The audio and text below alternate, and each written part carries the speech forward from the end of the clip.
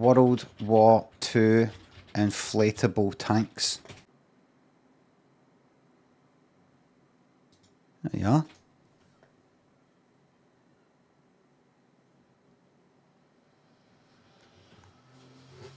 We fooled we fooled Hitler's army by having inflatable uh, tanks.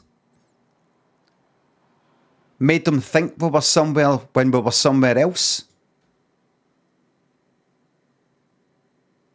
They thought we were all built up, all ready to rock and roll at one area.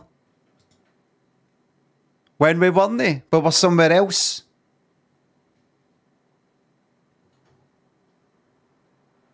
We were somewhere else.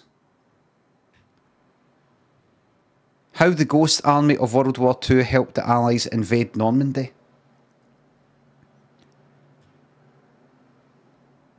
They just looked through the binoculars and went, aye, that looks like, aye, look, the other tanks that are there. Wait a minute, wait a minute, what is it? There's, there's something about the, what is it? It looks inflatable, sir. Don't be ridiculous.